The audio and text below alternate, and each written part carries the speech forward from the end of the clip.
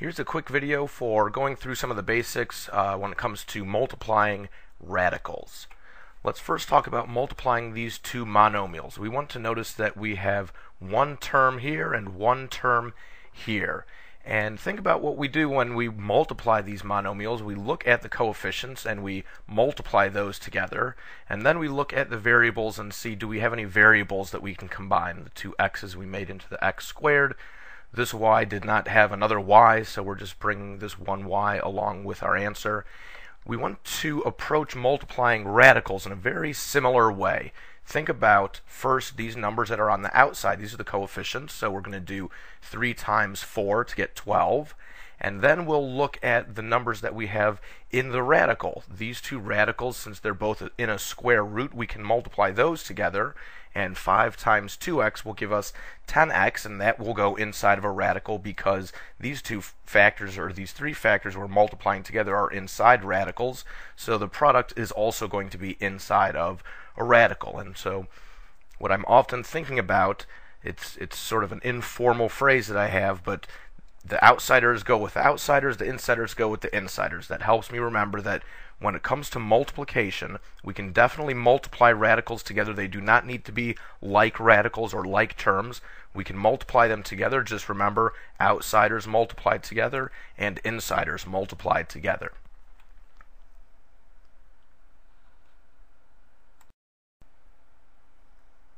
Let's check out this example. So what do we have here? We are multiplying one term by two terms. This hopefully looks like a situation where we would want to do distributive property. That's exactly what we would do here. We would multiply the 3x times 5y, and as we do that multiplication, we're back to thinking about multiply the coefficients together, the 3 times the 5, and then can we put the variables together? So there's our first multiplication. The second multiplication, 3x times negative 2, always we're cautious with the signs that's going to give us a negative 6x. And we multiplied the number parts, and then we've looked at do we have variables that we can combine. It's a similar situation with multiplying these radicals. Observe that we have one term, and remember, terms are separated by adds and subtracts. So even though we've got an outside number and an, an inside number, a radical, it's still just one term. And in parentheses, we have two terms. So it's going to be distributive property, and with each multiplication that we do, we're going to remember to multiply the outsiders together and multiply the insiders together. So the first multiplication, 3 times 4 is 12 on the outside, and 2 times 3 is 6 inside the radical.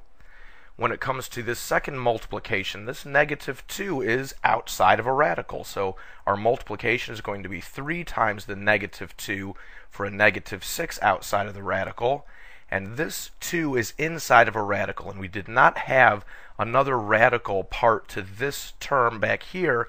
So we're just bringing the radical 2 along as our insider. The negative 6 is outside. The 2 is inside. And there's our answer.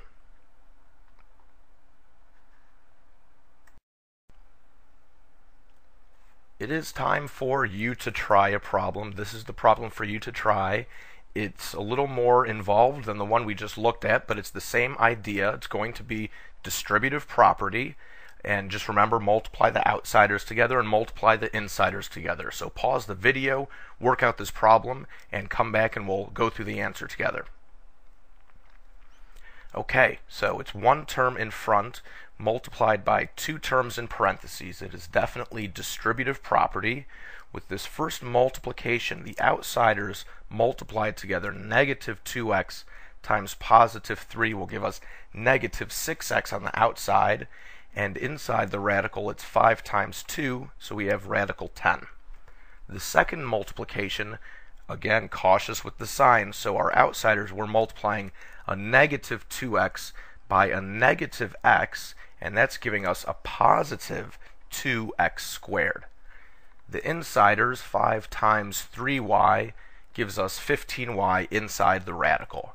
So we did the distributive property, we did the multiplication, but at some point we want to have a way to feel confident that we have a final answer. So there are a couple questions that you're going to get accustomed to asking yourself at the end of any of these multiplying radical problems, and really at the end of lots of radical problems, you want to ask yourself first, are the radicals simplified? So in this radical, we have a 10. Can we simplify this radical?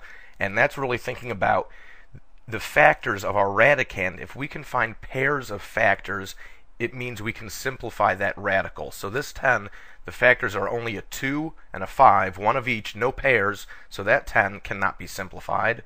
And same situation with this 15y. The factors are 3, 5, and y, no pairs, so that radical it's also simplified already. That's the first question. The second question is, do we have any like terms we can combine? So when we're thinking about like terms, we're looking at our radicands. If the radicands match, then we'll be able to combine these like terms, and these are not like terms. So the radicals are simplified. We cannot combine any like terms, and that's how we know that we're finished with this problem. Let's look at another example. It's again one term multiplied by two terms. We're going to be doing the distributive property. With each multiplication, we are multiplying the outside numbers together and the inside numbers together. So this first multiplication, do you see it's going to give us 10 radical 18? And our second multiplication will give us negative 35 radical 12. And at this point, we're going to ask ourselves these two questions. First question, can we simplify these radicals. And yes, we can simplify both of these radicals. So when it comes to simplifying the radicals, I like to look at the prime factors. If we start with this radical 18, the prime factors are 2, 3, and 3. And here's the pair of factors that we can take out of the radical. A pair of 3's inside the radical means we're going to bring one 3 outside of the radical. And when we're bringing a factor outside of the radical, we have to multiply it to any other factors that we have outside the radical. So 1, 3 is coming out of the radical, multiply it to that 10, will give us a 30, and this 2 is because we have a leftover in our radical. Leftover 2 there is turning into this 2 leftover in the radical. So we simplified 10 radical 18 to equal 30 radical 2. Let's simplify this other radical, rather. It's uh, 12 is the radicand. If we look at the prime factors, 2 times 2 times 3, we've got a pair of 2's, so we're going to be able to bring 1, 2 out of the radical to multiply to the negative 35, and that will leave us with negative 70 radical 3 because of this 3 left over in the radical. So we simplified the radicals. The next question is, are they like terms? They're not like terms. The first term is radical 2, the second term has radical 3, so they're not like terms. And we know now that we are finished, and there's our answer.